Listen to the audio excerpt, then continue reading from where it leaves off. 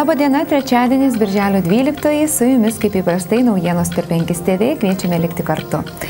Mūsų šalies finansų sistema yra gana atspari stipriems ir netikėtiems sukrėtimams, tačiau kredito įstaigos ir toliau privalo stiprinti pasirengimą galimoms rizikoms. Tokios išvados pateikiamos naujausioje Lietuvos banko parengtoje ir šiandien pristatytoje finansinio stabilumo apžvalgoje. 12-13 metų sandūra na, buvo tam tikrų aspektų išskirtinė, tai yra vėlgi mm, metų pradžioje mes ėmėmės tam tikrų agresyvių ir pakankamai karštutinių e, veiksmų, na, kaip žinote, intervencija į e, ūkio banką, atšaukėme keleto kredito įstaigų, pabrėžiu keleto kai kurių kredito įstaigų būtent licenzijas. Taigi, taigi tai buvo tie iššūkiai, su kuriais iš tikrųjų susidūrėme praktikoje. Na ir kaip šie veiksniai atsispindėjo Lietuvos rizikos vertinimuose, tai džiugu be abejo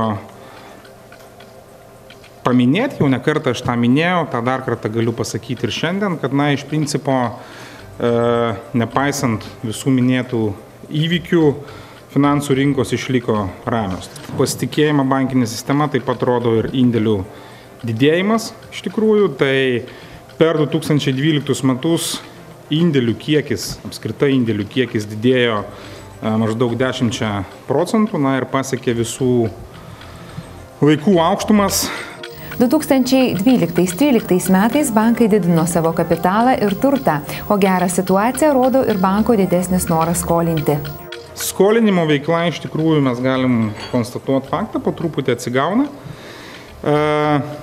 Žiūrint 12 metų duomenis, 2012 metų duomenis, paskolų portfelis padidėjo šiek tiek daugiau negu 1 procentų arba beveik 170 milijonų litų. Tai vėlgi tai, tai, tai, tai, tai rodo, kad, kad, kad na, judam, judam į kalną iš tikrųjų. Liberalų sąjūdis šiandien paskelbė inicijuojantis interpeliaciją sveikatos apsaugos ministrui socialdemokratui Viteniui Andriukaičiui. Liberalai dėl interpeliacijos jau pradėjo rinkti Seimo narių parašus, ministrui suformuluoti klausimai 23 temomis. Pasak liberalų partijos pirmininko Eligiaus Masiulio, per pusę metų veiklos Vitenis Andriukaitis sugebėjo sukiršinti medikų bendruomenę, nuvilti pacientus, situacija sveikatos apsaugos rytyje yra smarkiai blogėjanti tiek valstybinėme, tiek privačiame sektoriuje Briuselyje. Tikimasi, kad interpeliaciją parems Seimo opozicinės frakcijos. Ar iniciatyvą palaikys kai kurios valdančiosios frakcijos, kol kas neaišku. O sveikatos apsaugos ministras Vytenis Andriukaitis teigia, kad interpeliacija jam būtų dėkinga proga pateikti atsakymų savo oponentams ir diskusijoms. Vilniaus miesto savivaldybė Vilniečius ir miesto svečius įsigijusius vienkartinius popierinius bilietus ragina juos išnaudoti iki Liepos pirmos dienos.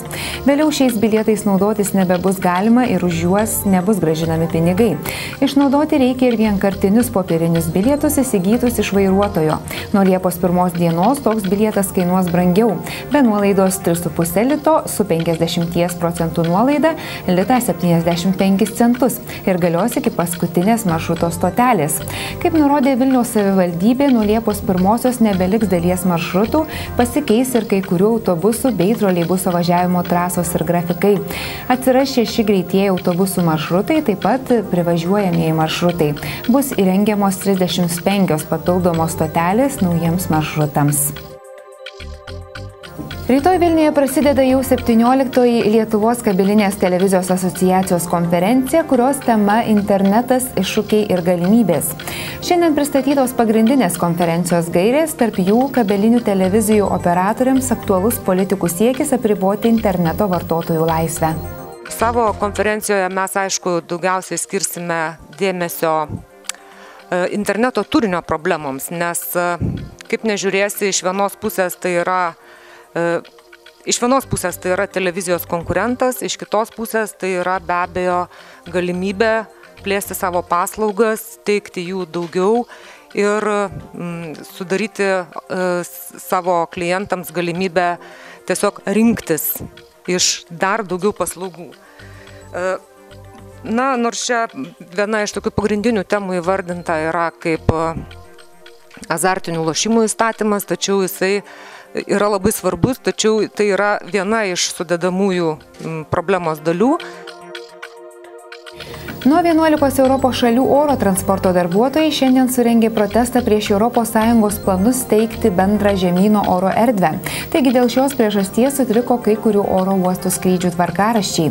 Antradienį streikuoti ėmė Prancūzijos oro uostų skrydžių kontrolieriai. Šiandien trijų dienų streiką paskelbė prie jų prisijungę Austrijos, Belgijos, Ispanijos, Italijos ir kitų šalių profesinės sąjungos.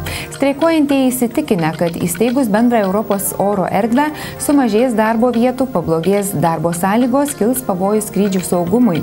Tačiau ES neatsisako planų 27 narių oro erdvę pertvarkyti į 9 sektorius, kurių darbą koordinuos naujai įkurta bendrovė. Tai turėtų per pus sumažinti išlaidas.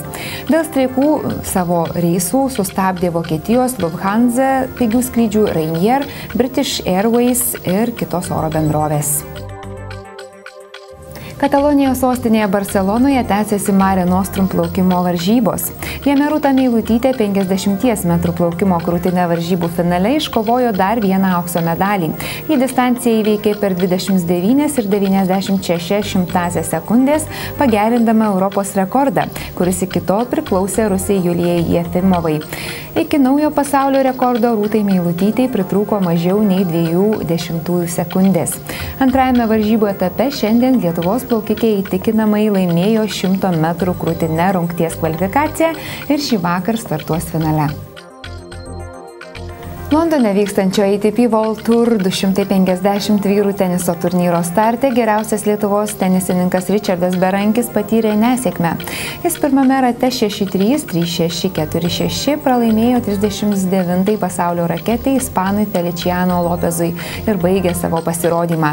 Dvikova net tris kartus buvo stabdoma dėl lietaus, tai ir įvardyjama kaip galima mūsų tenisininko nesėkmės priežastis.